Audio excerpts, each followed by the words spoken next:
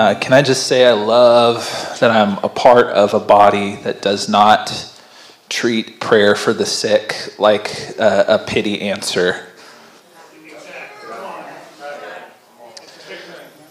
I'm gonna harp on that for a little bit because don't worry, I'm gonna I'm gonna get to this, but. Um, there's a lot of discipleship moments that happen in a church service that we can sometimes miss if we don't take a minute to just slow down and see what happened. Um, do you realize that you, when you cooperate with the Holy Spirit, have, in a certain degree, co creative authority with Jesus? Yes. Some of you that just went way over your head, and that's good because some of you haven't had anything go over your head, you feel like, in a church in a long time. So we're going to challenge some stuff today. Um, the, the word says that we've been seated with Christ in heavenly places. Yes, this is Ephesians 1. And then if you look even in John 1, uh, the Gospel of John, chapter 1, we get a, a, glimpse into how creation happened.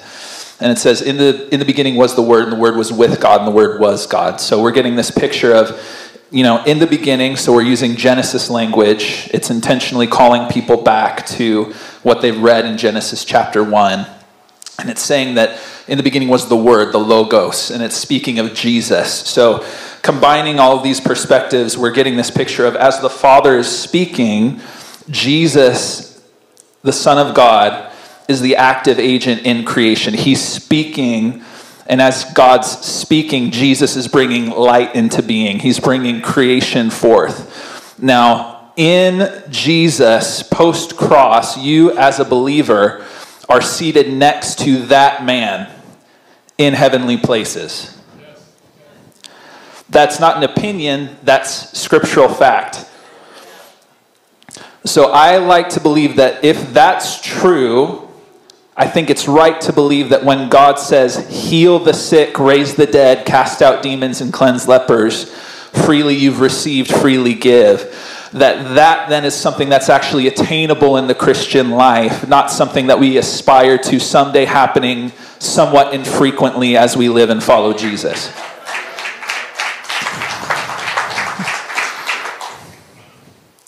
You ready today?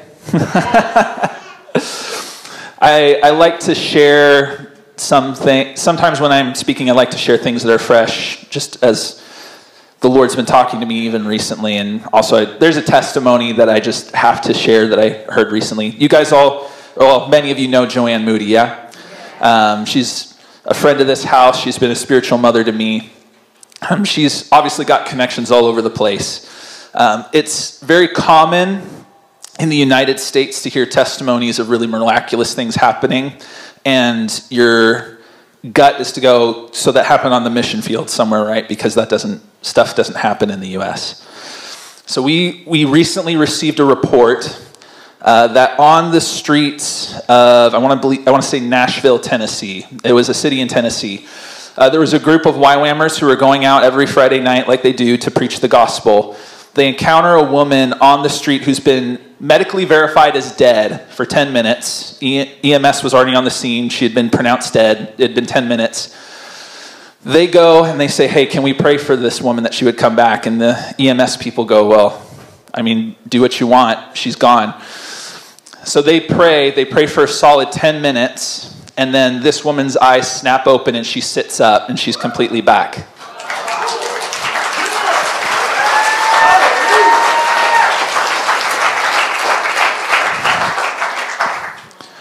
Again, she had been medically verified as dead. So this isn't, you know, a homeless person was taking a nap on the side of the road. Uh, this wasn't a drug induced thing. She was gone. And now she's not. I, we need to keep these sorts of stories in front of us uh, because it's very easy to feed ourselves with uh, the problems that are happening instead of the, the person who's seated on the throne who is the solution to those problems. It's very easy to rehearse what's not going right instead of looking to the one who's going to make everything right. That's where we need to live, that's where we need to come from. All right, weigh in. I've got like five other things I can talk about, but I'm weighing where I need to go. I'll get there. Holy Spirit, help me I need it. Amen.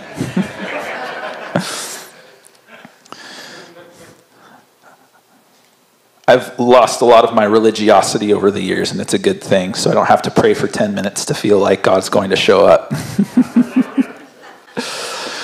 All right, so we're going to be wrapping up the story of Gideon. We got mainly just through chapter six last week. Um, it was pretty dense. There's a lot going on in chapter six. We're going to be going a little bit more briefly through chapter seven and eight. There's a lot of uh, words in this part of the narrative, but in terms of meat and things that we're actually going to parse out, uh, relatively less. So, again, we're going to be able to get through these two chapters uh, in the next however long I have. Um, and we're going to, I want to start in chapter 7, and we're going to go verses 1 through 8. We're just going to jump right in.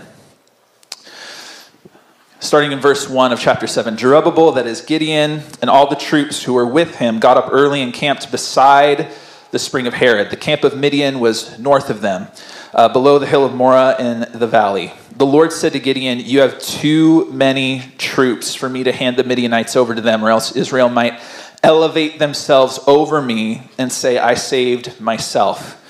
Now announce to the troops, whoever is fearful and trembling may turn back and leave Mount Gilead. So 72,000, 72,000 of the troops turned back, but 10,000 remained. Then the Lord said to Gideon, There are still too many troops. Take them down to the water, and I will test them for you there. If I say to you, This one can go with you, he can go. But if I say about anyone, This one cannot go with you, he cannot go. And then to essentially shortcut the rest of that, many of us know the story. Uh, Gideon gets left with 300 out of the original, about like 80, 82,000 that he had show up with him originally.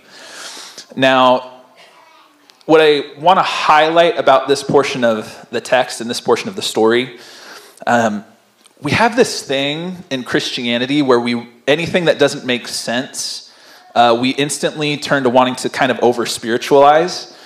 So I've heard all kinds of explanations around what was going on when God said, "Okay, you know, anybody who's afraid can go home." That one kind of makes sense, but then people start to break down. Well you know, the reason that God wanted the people who, you know, lapped the water a certain way is it showed that they're like ready to fight versus not. And I just want to tell you that from the research that I've done, that doesn't actually matter. Um, what God's getting at, and again, this is the whole point, one of the main points, I should say, of Gideon's story and even of Judges as a whole, he, God said at the very beginning, I'm going to make sure that you have an inordinately small group of people because I need to make sure that you know, not just the people who you're coming up against, I need to make sure that you know there's no way you could have figured this out on your own. I need to make sure that you know that this was me and not you. And as we break down and kind of get more into the, the headspace of what's going on here, and even as we look through, again, Gideon's story and Judges, we, we use this phrase again in Christianity where we say, you know, God gets all the glory. And that's true. But what I want to focus on here for just a second is a lot of times we say that, and what's running in the background of our heads is God's the sort of big headed megalomaniac who just needs to like he needs you he needs to make sure that you know that like okay yeah you helped but i need you to make sure that like i get the praise i get the attention. Like he has this ego that needs to be stroked. And i want to propose to you that that's number one not true about who our father is. And number two i want to propose to you that he does that not for his sake but for ours as we'll see in Gideon's story and as we see throughout Scripture, the moment a human being starts getting the glory that should only be going to God, things go downhill so fast. It's not just that God deserves it, though that's true, it's that God deserves it and we don't know how to handle that. A really quick story in the New Testament that pops up is and I'm just going to share it briefly because it's a good example. Herod, the, the same Herod who had all the babies executed right when Jesus was born, bad guy. There's a story in scripture where he is enacting taxes on sort of a neighboring civilization, and they come to him and they're trying to cozy up to him. So he gives this big speech, and they say, not, not the voice of a man, the voice of a God. And then, because Herod didn't correct them, he took that in. It says that there was an angel that struck him dead where he stood. The reason we need to make sure God gets glory and we glorify him for the things that he's done, again, is not because he has an ego that needs to be stroked it's not because he's got this fragile sense of identity that he needs all this attention. It's because he knows we can't handle that. And because he knows we can't handle that, it proves that he's actually interested in our longevity in doing what he's asked us to do. Because if we can't handle it and we go the way of Gideon, as we'll see here in a few minutes, things go downhill really fast, we end up disqualifying ourselves. God's actually about you finishing and finishing the race well. God's about you going from glory to glory, and that looks like going from glory to glory through the rest of your life. God's not the type of person who, hey, I'm going to give you a call, I'm going to give you a mission. As soon as you do it, I'm done with you. It's, I'm going to establish you and I'm going to move you from glory to glory, from the next thing to the next thing. Can I tell you that this looks like people in their 60s, 70s, and 80s on fire for Jesus?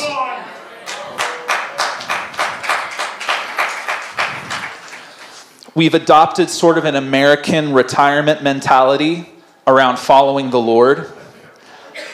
As soon as I hit 50 or as soon as I'm, you know, a certain age, I can sort of let the let the younger people do the radical stuff. I can let the younger people follow Jesus in a way that, you know, for them that's cool. For me, I've put my, really, this phrase gets to the heart behind it. I've put my dues in. I don't need to do that anymore. Can I tell you from somebody who's a part of a younger generation, I need people who have more experience than me. I need people who have followed Jesus for longer than me. I need people who have hit rock bottom a few times and still seen the faithfulness of God to come alongside me to help me go where I'm supposed to go.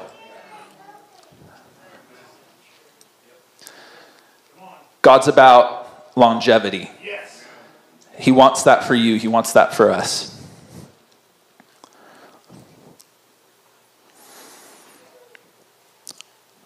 So, again, we can kind of summarize that whole chap that whole portion of the chapter of the 300 down if you need a main takeaway point god just needed israel to make sure that they knew god's the one who got you here it wasn't yourself your effort didn't get you here then if we go into verse nine, verses 9 through 14 that night the lord said to him get up and attack the camp for i have handed it over to you but if you are afraid to attack the camp go down with purah your servant listen to what they say and then you will be encouraged to attack the camp so we went down with Purah, his servant, to the outpost of the troops who were in the camp. Now the Midianites, Amalekites, and all the people of the east had settled down in the valley like a swarm of locusts, and their camels were as innumerable as the sand on the seashore. When Gideon arrived, there was a man telling his friend about a dream. He said, Listen, I had a dream. A loaf of barley bread came tumbling into the Midianite camp, struck a tent, and it fell. The loaf turned the tent upside down so that it collapsed. His friend answered, this is nothing less than the sword of Gideon, son of Joash the Israelite. God has handed the entire Midianite camp over to him. A few things to note here. Uh, number one, something that I love to point out God still loves to speak through dreams. And again, if scripture is our blueprint, one of the most common ways that God speaks throughout scripture is dreams and the reader, again, this was written for a primarily Jewish audience. So the reader, as they're going through this narrative, they're seeing this Midianite say, Behold, I had a dream, which is the exact same phrase that Joseph uses in his story. Behold, I had a dream. And then he starts talking to his family. So we're getting this sort of literary picture of like, okay, so this isn't just some random pizza dream. This is God's about to say something. And then we get through the dream, we get an interpretation, and we see God, again, is faithful to what he told Gideon. He said, Look, if you're afraid, because again, if we remember from last week, So much of what this chapter is about is Gideon is not sure if he can really trust God. He's not sure, again, like God's proved himself with all these tests. And what I even love about this that displays so much of the nature and character of the God that we serve is he pretty much knows if he were to just tell Gideon to go, he'd get another objection. So he just shortcuts it. he says, Hey, go do this, and, and, and. Like, it's like you can see Gideon starting to take a breath to be like, But what about? And he cuts him off and he says, If you're still afraid, go down there, check it out, you'll be encouraged. God's faithful to do what he said he was going to do, even in the small things, even in the little details. And even as we're going through the narrative, we're starting to get this idea that maybe Gideon is beginning to believe God. Because you have to remember the circumstances for which he had to get his encouragement was he had to sneak into an enemy camp. And the, the author made it very clear about how many people were there uh, camels that outnumbered the sands on the seashore, like a swarm of locusts. He's using plague imagery, which again would have been really familiar to the Israelite audience. They're thinking the 10 plagues that destroyed Egypt's crops, that totally decimated them. So they're getting this really intense picture. And that's the context that Gideon is taking his servant and sneaking into. So, you know, that, that valiant warrior word that Gideon got at the very beginning of his story, we're starting to see him think maybe I can do this. Maybe this is real. He sneaks down there, he gets the encouragement, he comes back, and then we pick up again with verse 15. When Gideon heard the account of the dream and its interpretation, he bowed in worship. He returned to Israel's camp and said, Get up, for the Lord has handed the Midianite camp over to you. Then he divided the 300 men into three companies and gave each of the men a trumpet in one hand and an empty pitcher with a torch inside it in the other hand. Watch me, he said to them, and do what I do. When I come to the outpost of the camp, do as I do. When I and everyone with me blow our ram's horns, you are also to blow your ram's horns all around the camp. Then you will say, For the Lord and for Gideon. Put a pin in that one. Take note of that phrase. Gideon and the hundred who were hundred men who were with him went to the outpost of the camp, beginning of the middle of the watch. After the sentries had been stationed, they blew their horns, broke the pitchers that were in their hands. The three companies blew their rams' horns and shattered their pitchers. They held their torches in their left hands and their rams' horns uh, to blow in their right hands, and they shouted, "A sword for the Lord and for Gideon!" Each Israelite took his position around the camp, and the entire Midianite army began to run, and they cried out as they fled when Gideon's men blew their 300 ram's horns, the Lord caused the men and the whole army to turn on each other with their swords. They fled to Acacia House in the direction of Zer- Zerera. Didn't practice that word before I got up here. As far as the border of Abimelech. Didn't practice that word either. then the men of Israel were called from Naphtali, Asher, Manasseh, and they pursued the Midianites. If you're again, familiar with this passage, you kind of miss the ridiculousness of what's happening. We're talking about this gigantic army, tens and tens of thousands of people, and you've got 300 people. We don't have that many people in here, but if you figure if this sanctuary was full, every person in a seat, we're talking about that many people coming up against tens and tens of thousands of trained warriors. And their strategy is I'm going to blow my horn smash a vase, hold up a torch. Go get him. Yep. exactly. So, again, these stories that we get really familiar with, it's helpful when you're trying to get the full picture to slow down just a second and think about what's actually going on. And then keeping in line with God's, you know, declaration of I need you to know that I'm the one who delivered you. It says that God caused the Midianites to start attacking each other as that happened. So this trained military force who by the way has been oppressing these people for decades at this point, who are pretty familiar with the area, the stuff that goes on there. These guys crack a vase, hold up a, land, hold up a, a torch, shout something, and now all of a sudden there's bedlam in the camp and they start attacking each other. That's miraculous. Yes. That's the power of God at work. And again, it's God proving himself faithful to a people who are still questioning his character and his motives. The goodness of God is that his faithfulness to you is not predicated on you. The beauty and the majesty and the glory of who Jesus is to us is that his sacrifice for us, who he is for us, is not dependent on you getting it right, and it's not dependent on you having everything nailed down about his character. If it were, we'd be in trouble. I'm going to harp on this for just another second because this is something that somebody shared with me, and it's very much set me free in a lot of different areas of my life. We, we love God, we pursue Him, and even though His faithfulness towards us isn't predicated on us getting everything right, you know, as we're growing, we're still stretching out towards that, right? You know, His, his grace is not an excuse for us to be sloppy, if I can put it in that way.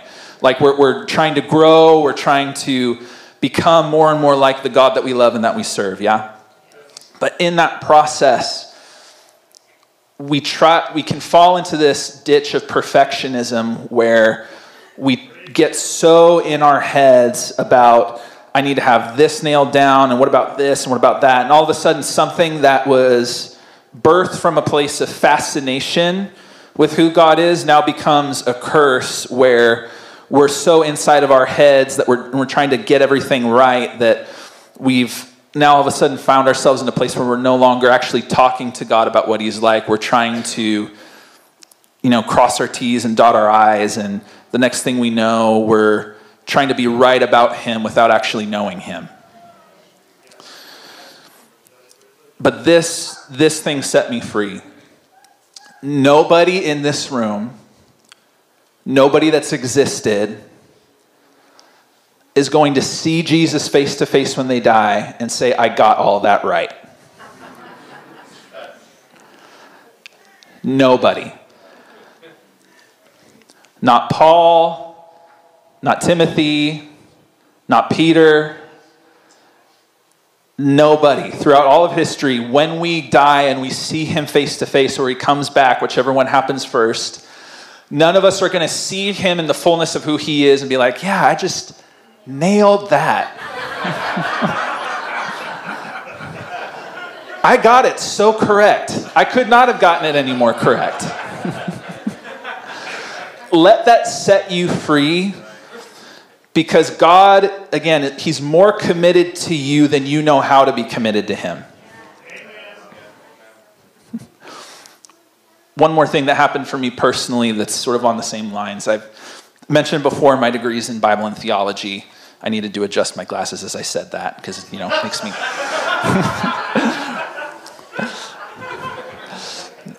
Very early on, when I was studying and I was walking in between classes, the Lord just spoke very clearly. There, there are times where you hear Him and it's sort of that still small voice, and there's other times where you hear Him and it's sort of like internal audible, is the way I've heard it described. I know I'm not hearing something, but it's like the voice of God just kind of breaks through everything that's going on for you internally and it just sort of reverberates.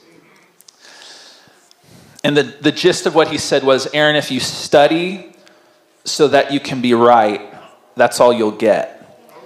If you study so that you can know me, then you'll know me.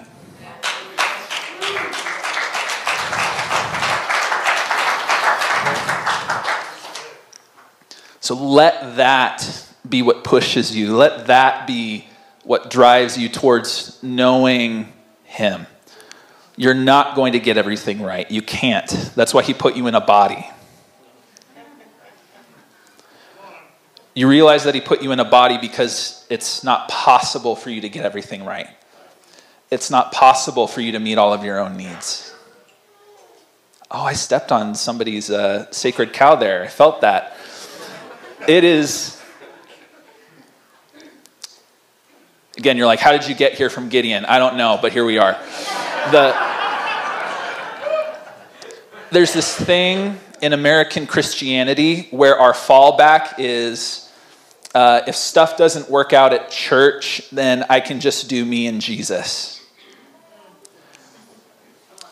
And can I tell you there are seasons where the Lord will call us into periods of isolation? I'm not saying that there aren't exceptions, but what the scripture tells us is this only happens the way that it was intended to happen in a body of other believers.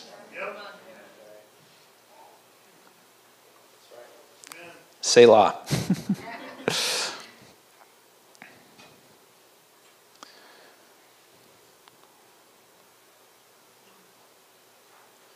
this is what happens when you take rabbit trails. You got to find yourself back in your notes.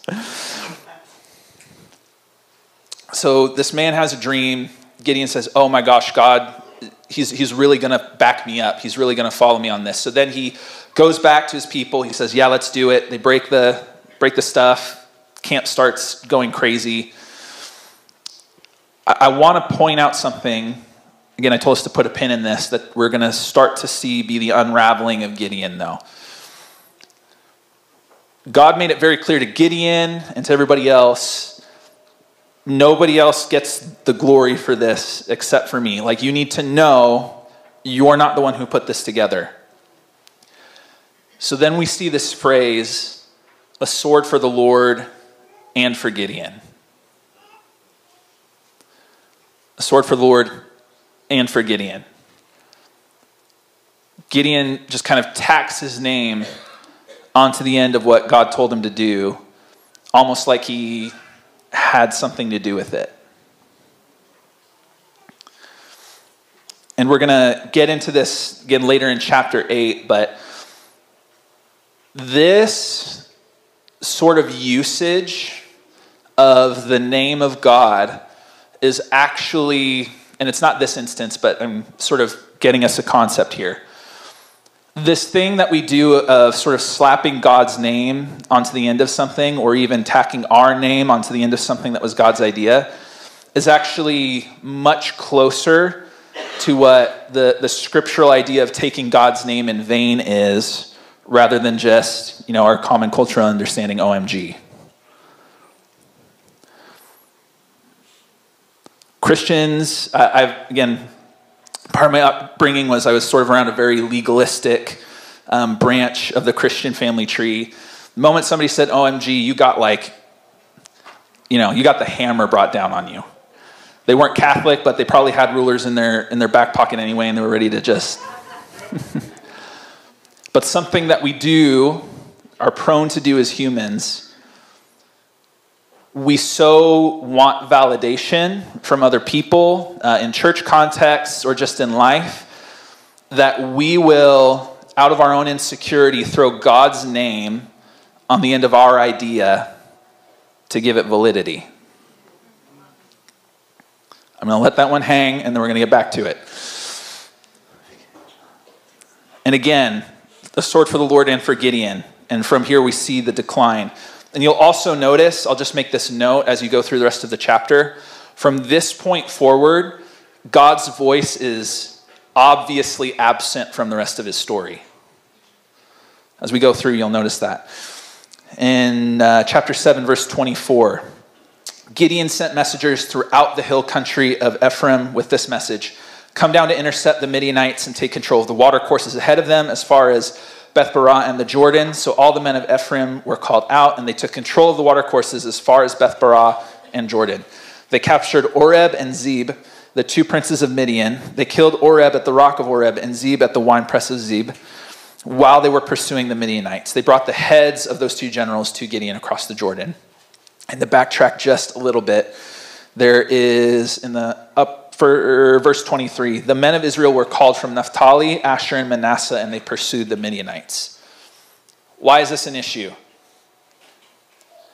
Because God made it super clear you get 300 people to do this, and that's it. But as soon as Gideon's perception of what the desired effect is happens, he then jumps in with his own good ideas about what needs to happen to sort of finalize this victory.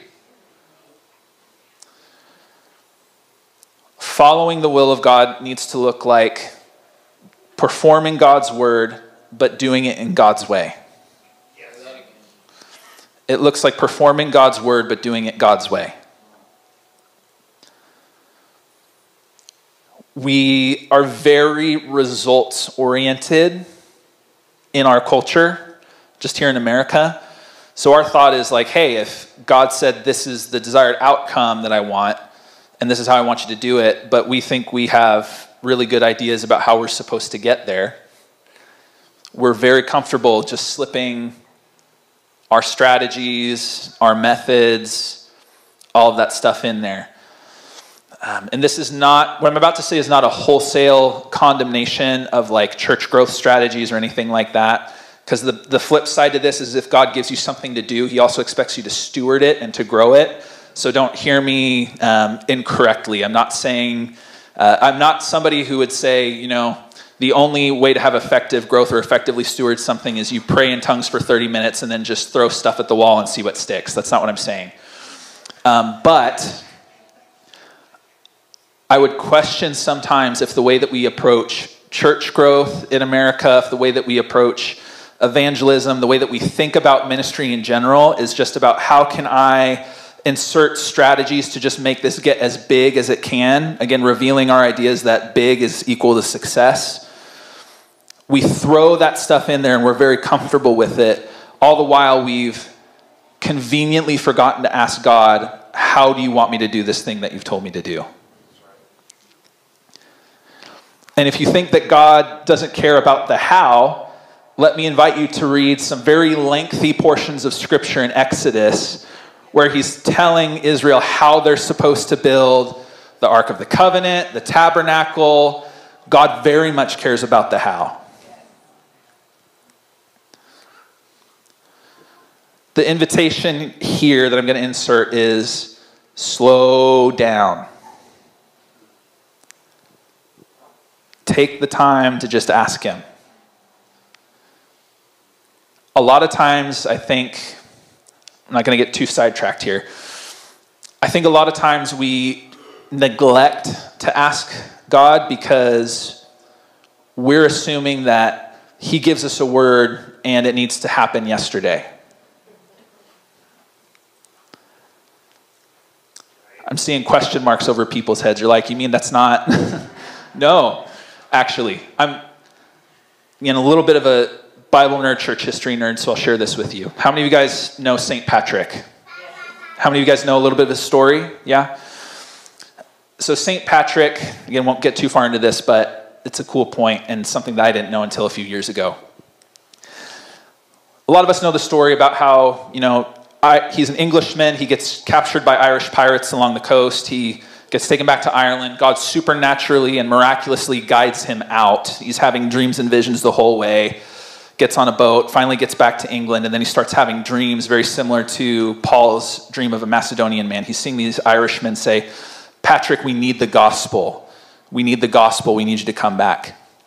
And in our, again, partially ignorant and partially westernized versions of the story, we immediately jump to him being in Ireland. What most of us don't know is that there was a 30 year gap between when he had that dream and when he finally got back to Ireland.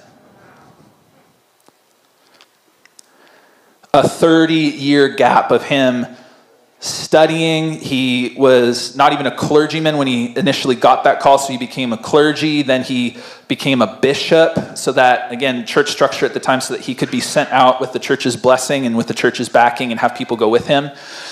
There was all of that study, all that preparation in between when he gets the word and when he actually goes, and there was betrayal. One of his closest confidants is confessor, the person who he told everything to. When he went to his first hearing to become a bishop, that guy who he was supposed to trust stood up and said, Not this guy, let me tell you 52 reasons why. Most of us would get offended at that point and give up and say, I guess I didn't hear God. God's word performed God's way is what we're after. And this is, again, why we start to see Gideon going downhill. We got through the first chunk of verse 8, or chapter 8, uh, in verses 1 through 3. I'm going to read verses 4 through, let me see, 4 through 9, and then 15 through 21, because there's a bunch of narrative in here, but we're going to just hone in on a few things. Gideon and the 300 men came to the Jordan and crossed it. They were still exhausted, but in pursuit. He said to the men of Sukkot, Please give me some loaves of bread to the troops under my command, because they are exhausted, for I am pursuing Zebah and Zalmunna, the kings of Midian. These were some kings who had gotten away in the course of the battle, and Gideon, in trying to, again, do things his way, was following the pattern of the time and saying, I need to completely decimate these people and I need to take out their leaders. That's when I can know we're done. So he's going after them. Obviously, you know, you got 300 men running around, an army marches on its stomach. Uh, they need some food, they need some water. But the princes of Sukkot asked, Are Zebah and Zalmunna now in your hands that we should give bread to your army? Gideon replied, Very well. When the Lord has handed Zebah and Zalmunna over to me, I will tear your flesh with thorns and briars from the wilderness. He went from there to Penuel and asked the same thing from them. The men of Penuel answered just as the men of Sukkot had answered. He also told the men of Penuel, When I return safely, I will tear down this tower. Jumping forward to verses 15 through 21. Then he went to the men of Sukkot and said, Here are Zebah and Zalmunna. You taunted me about them, saying, Are Zebah and Zalmunna now in your power that we should give bread to your exhausted men? So he took the elders of the city, and he took some thorns and briars from the wilderness, and he disciplined the men of Sukkot with them. He also tore down the tower of Penuel and killed the men of the city. Gideon very quickly goes from the person that God has anointed to set Israel free. He goes very much from the judge, the deliverer, and he starts looking more like what we would know as a modern day warlord. Something interesting to note, which makes more sense at this point in the narrative Gideon's name in Hebrew actually means hacker.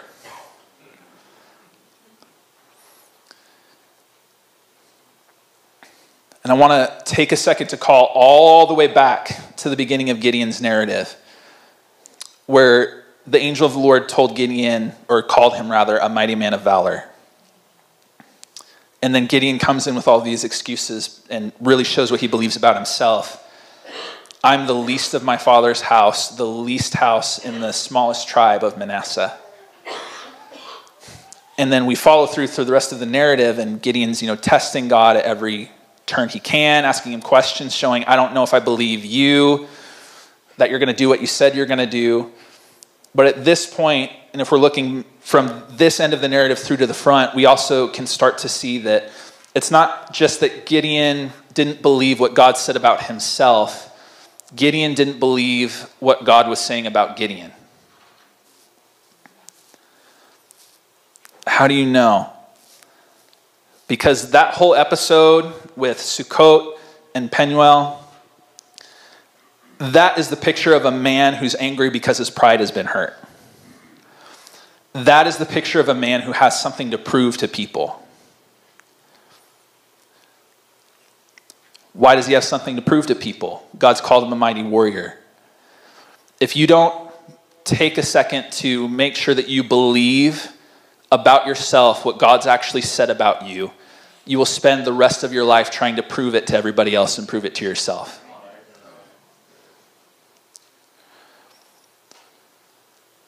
Because when you're free from insecurity and you're free from the fear of man, people can throw all kinds of accusations and questions at you and you just don't care.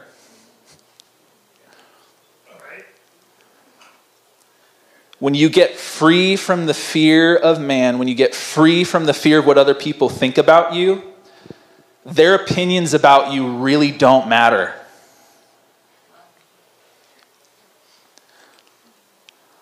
I can even speak from my own life. I've been getting progressively, even in the last couple of years, as my spiritual father, Eric Waterbury, has been helping me. Again, talking to an older generation where we need an older generation who loves God's on fire for Jesus to call us out and call us up.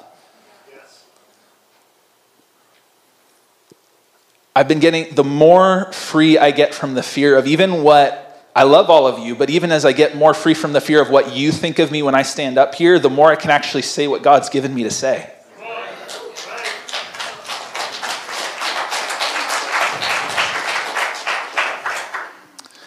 And the more free from the fear of man that a person gets, the more that you can actually start to focus on okay, I can actually start becoming who God's told me that I am.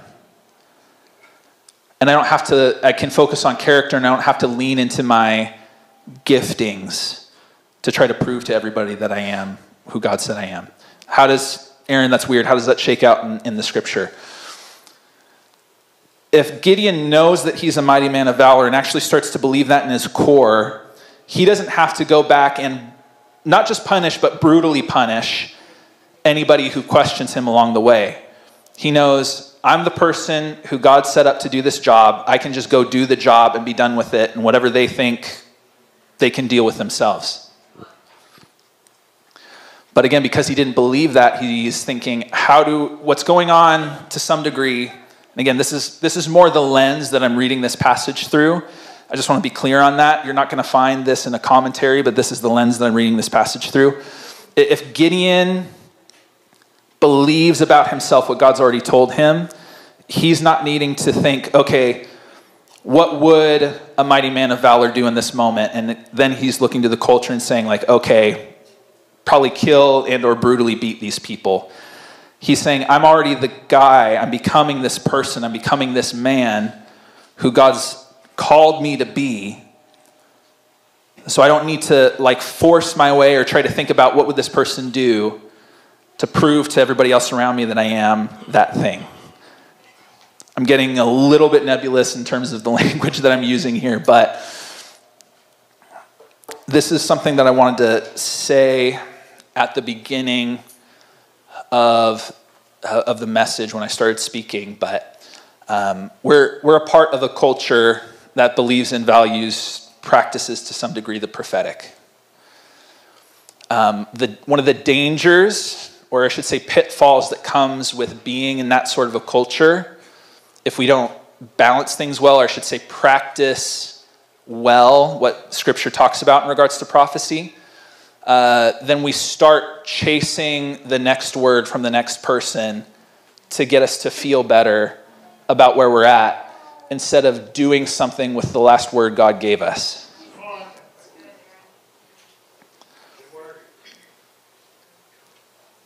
Sometimes, most of the time, we don't need a new word.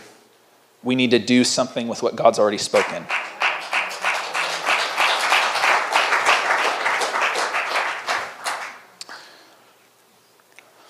I'm going to hit just a few things because I see I'm about to get the staff here, but it's okay. I need that. Otherwise, I could keep talking and I'd keep you guys here way longer than you needed to be. So, moving forward to shortcut the narrative a bit, Gideon gets these kings after he's taken care of all these other towns, again, just brutally beaten them and destroyed them.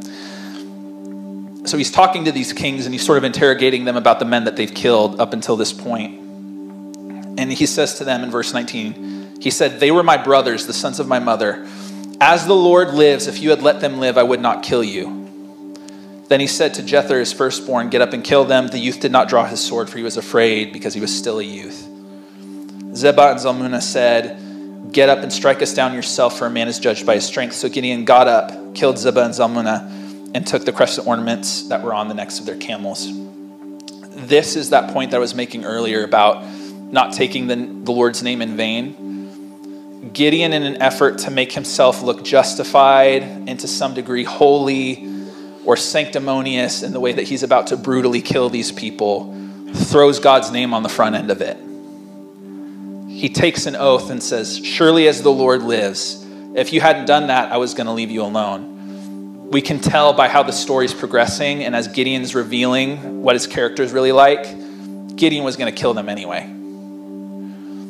Taking the Lord's name in vain is less about the sequence of words and where you insert God's name into it and more to do with are you invoking the name of a holy God over the top of your agenda to make you feel better about what you're about to do?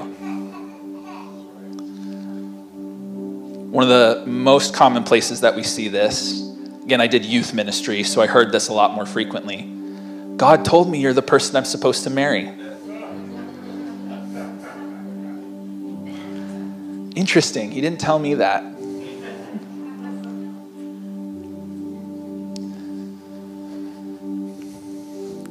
And then, last bit that I want to hit on and then just kind of land the plane here. As we get into the close of Gideon's narrative and we start to see about the legacy that he's going to leave in verse 22, the Israelites said to Gideon, Rule over us, you as well as your sons and your grandsons, for you delivered us from the power of Midian. But Gideon said to them, I will not rule over you, and my son will not rule over you. The Lord will rule over you. Then he said to them, Let me make a request of you. Everyone give me an earring from his plunder. Now the enemy had gold earrings because they were Ishmaelites. They said, We agree to give them. So they spread out a cloak. Everyone threw an earring from his plunder on it. The weight of the gold earrings he requested was 43 pounds of gold. I did the math. We're talking about $1.2 million worth of gold. The purple garments of the kings of Midian and the chains on the necks of their camels, he got all of that. So Gideon made an ephod from all this and put it in Ophrah's hometown then all Israel prostituted themselves by worshiping it there, and it became a snare to Gideon and his household. Forwarding through to verse 30 Gideon had 70 sons, his own offspring, since he had many wives. His concubine, who was in Shechem, also bore a son, and he named him Abimelech. Then Gideon, son of Joash, died at a good old age, and he was buried in the tomb of his father Joash in Ophrah in the Abiezrites. Gideon is one of the perfect pictures, unfortunately, that we have of somebody who did not end well. To give you, again, some background and history to what's going on there, uh, in the law, when Moses gave it, he gave very specific instructions around the type of person a king was supposed to be and things he was supposed to do if, if they were going to appoint a king. A couple of the things were Number one, you are not going to have very many wives. And number two, all of this stuff that I'm telling you about the type of a king you're supposed to be, you're supposed to read it, put it up in your room so that you can read it every single day. And again, Gideon gives this sort of sanctimonious answer to Israel when he said, when they say, you know, be our ruler, be our king over us. He says, I'm not going to be a king. But then he immediately turns around and starts collecting $1.2 million worth of taxes. And he goes forward from there and he makes an ephod uh, for, not to get too deep into this, but when you look at the languages of the people from around that same time frame that were neighbors to Israel, uh, an ephod paints this picture of a garment that was put over the top of a deity that you would then worship. So there are ephods that are referenced again in the Old Testament. If you have questions about that, I can answer them later. I won't go fully down that rabbit trail now because I need to let you guys go here in a minute. Um, Gideon takes, again, he takes a king's ransom from the battle that he believes he won for himself. After saying, No, I'm not going to be a king over you, he then wor- creates this deity that Israel worships after just coming from a victory that God made very clear he got for them. They did not get for themselves.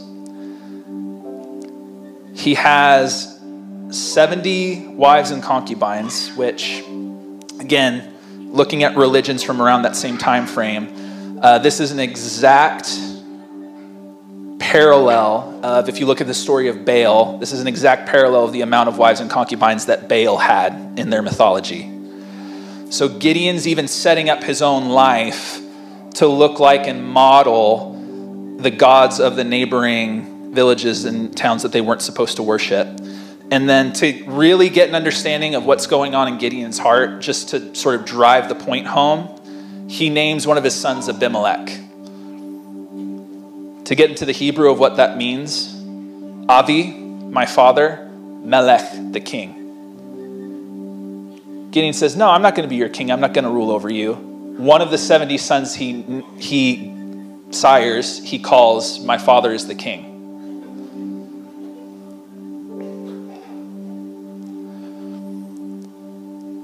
He's kind of a textbook picture of somebody who does not end well. But I want to leave us with this.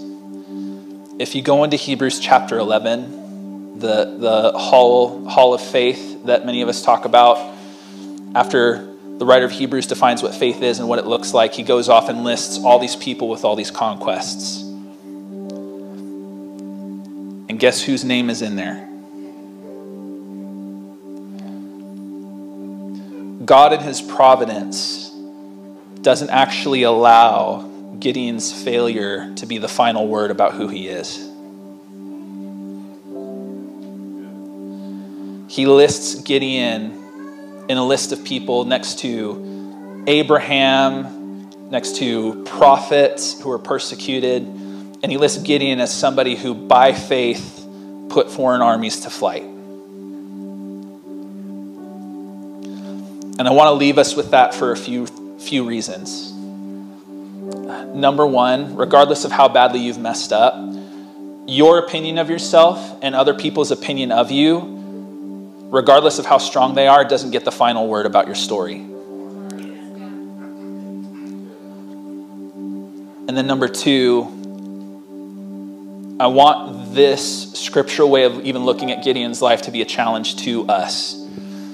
Because we're in a culture and a world, uh, a church culture, I should say, where church hurt is sort of the main topic of discussion.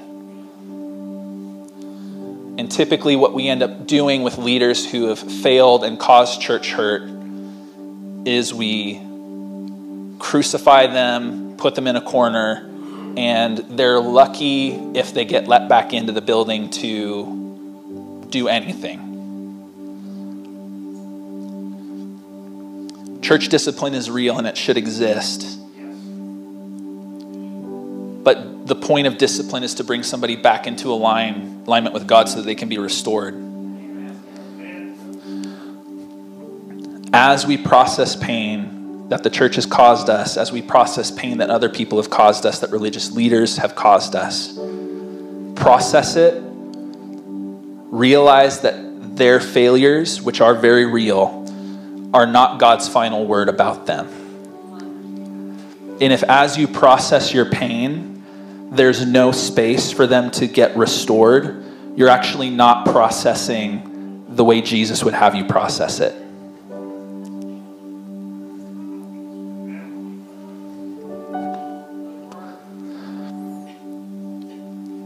could say a lot more stuff, but I've already gone over, so I'm going to pray for us. Could you guys stand up with me, please?